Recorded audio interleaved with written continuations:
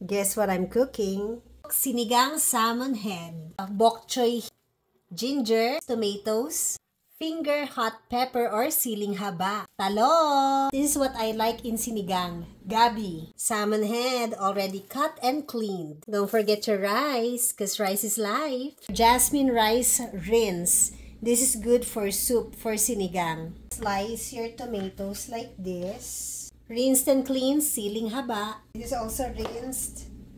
Behave para hindi makat ang iyong talong.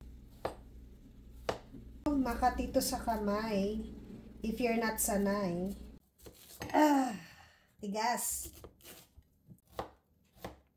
I'm gonna use this one for my onion. I hate wasting, so this is bacon fat. So we're gonna tomatoes. Green onion, ginger, taro or gabi. Try to mash the tomatoes. Have the ready minced uh, garlic. Salmon head. It's hard for me to cut it, so yeah. Sorry, this. Mix it up a bit. Patis. We'll wait for a few minutes. After a few minutes, we will remove our salmon. So, because I don't want this overcooked. Because our taro or gabi, it's still hard. I want it mushy. The jasmine rice rinse. So, our sinigang. Mas maasim, mas masarap. Stir it. Here, we're gonna chop our petchay. We will rinse this. Our taros already mushy. We can put back our salmon head para hindi siya ano, uh, overcook. Ayan.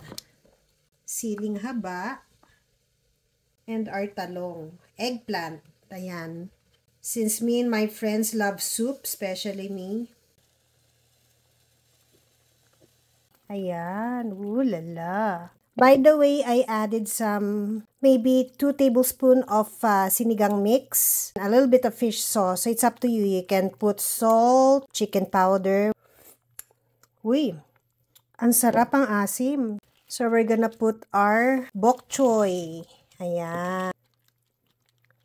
Cover this para naman hindi maano. I don't like to push it more down. When there's green mango, there should be Bagoong, shrimp paste.